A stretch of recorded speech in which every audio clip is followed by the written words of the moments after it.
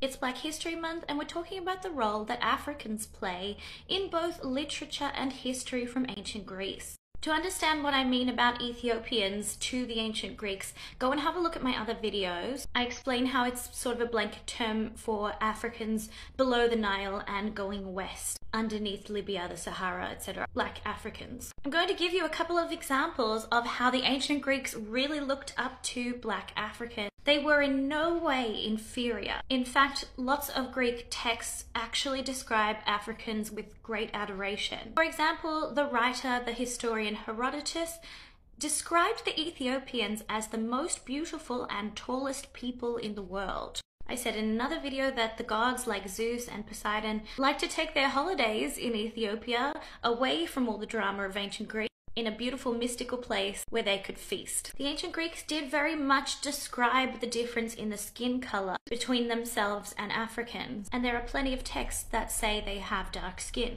But often this was a sign of beauty. In fact, in Homer's Odyssey, when he washes up on the shores of the Phaeacian, the goddess Athena, who was looking after him, she decides that she's going to improve his appearance and make him more god-like in order to not scare these poor Phaeacians, to make him more attractive. So what does Athena do? She darkens his beard and makes his skin darker. Makes him dark-skinned, in fact. Melanchroies.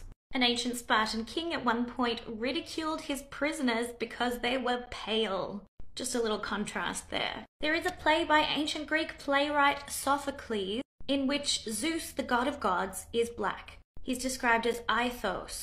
This could be because Zeus's son by Io, Epaphus, was a black man.